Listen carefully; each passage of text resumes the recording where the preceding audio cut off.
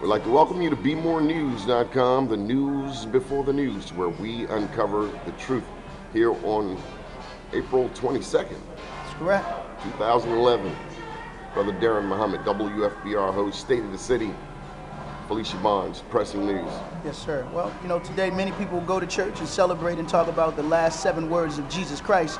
But today in Baltimore City, we got to ask what's the last seven words of Sister Phylicia Barnes, whose body was discovered uh, in the Susquehanna River, which of course is in uh, between Cecil County and Harford County, right in the backyard of Commissioner Bealefeld. And it is my belief and feeling that the Baltimore City Police Department again dropped the ball on this Why, one. why do you say dropped the ball? They failed to release a Amber Alert when she first was reported missing, uh, and of course failed to galvanize the necessary task force to do a search 100 miles north, 100 miles east, 100 miles south, 100 miles uh, to the west, so that we can look at where this young lady may have been uh, taken. And so therefore they dropped the ball, lost vital time, and really we saw a lukewarm search uh, only in two areas, Lincoln Park and the Patapsco River. So, with the second body being found, what do you sense uh, that adds to the equation?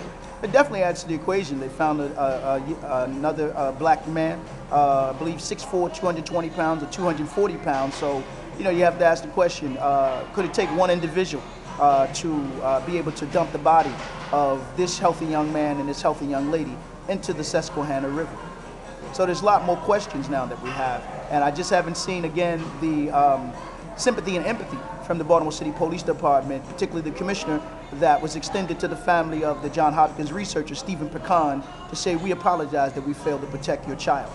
Last week, Brother Daren, your radio show broke the news about the investigation being launched into the Baltimore branch of the NAACP. Have you heard any word from anyone associated with the National Association for the Advancement of Colored People in Baltimore? Not one word. Uh, it's been very silent from the former president, Marvin Doc Cheatham, to the current president, uh, Ms. Tessa Hill Aston.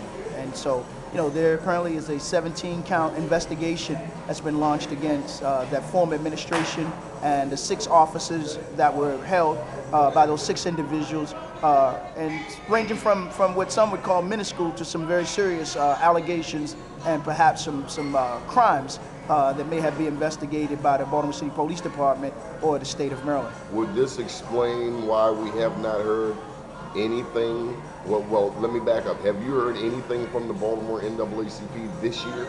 Not at all. Not one phone call, uh, not one uh, public uh, uh, debate or a public rally in regards to the crimes that's going on still in the city of Baltimore. And uh, let's highlight the issues uh, thus far in 2011 as relates to the the city of Baltimore and a, uh, a city that's majority black.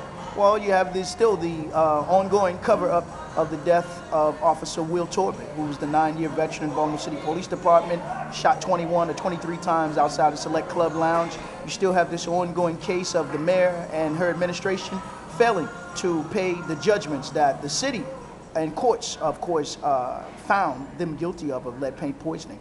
And the Baltimore Housing Authority, which the president, current president of the NAACP, Ms. Tessa Hill Aston, works for the Baltimore City Housing Authority, which clearly would be a conflict of interest for the NAACP, who is supposed to protect the rights of children and civil rights of adults in the city, uh, cannot take that kind of stand because of such conflicts of interest. And then so many other stories right now with this ongoing corruption of the Baltimore City Police Department, kidnapping a young man, taking him out to Howard County, and now uh, that trial is in court. So there's so many things that have been going on in the city as far as crimes and violations of citizens' rights by the Baltimore City Police Department and Baltimore City uh, Mayor's Office and her administration has So- not been addressed by the Baltimore, ca- Baltimore chapter of the NAACP. So, what does that mean for the people?